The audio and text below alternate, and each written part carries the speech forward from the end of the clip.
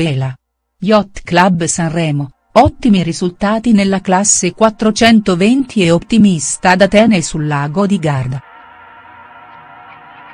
Yacht Club Sanremo protagonista nello scorso fine settimana.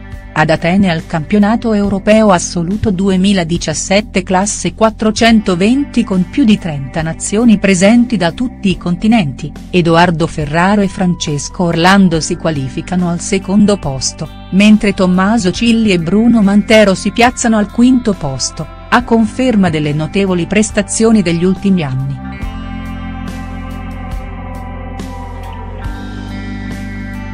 Andrea Abruzzese e Fabio Boldrini, più incostanti nelle difficili condizioni del Golfo di Atene, hanno raggiunto comunque brillanti risultati nonostante in alcune prove si siano piazzati un po' indietro.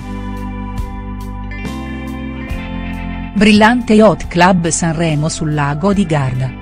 Stessi risultati al campionato europeo Under 19 sul lago di Garda dove Ferraro e Orlando si riconfermano portando a casa un altro argento, negli ultimi tre anni i due giovani atleti non sono mai scesi oltre il quinto posto in campionati europei e mondiali.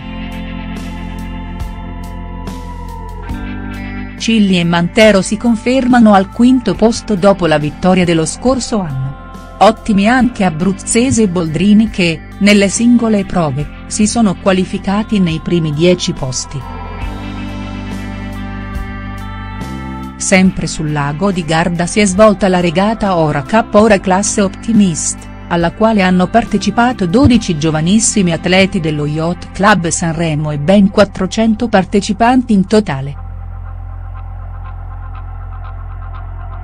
La squadra dello Yacht Club Sanremo era formata da Giosuè Cosentino, Davide Manica, Carolina Terzi, Niccolò Manica, Luigi Di Meco, Diego De Andreis, Lorenzo Monaco, Nicolò Gallo, Martino Gallo, Giampaolo Fellegara, Roberta Greganti e Federico Bortesi. Giosuè Cosentino si aggiudica il primo posto assoluto, bravissimo anche Niccolò Manica terzo classificato.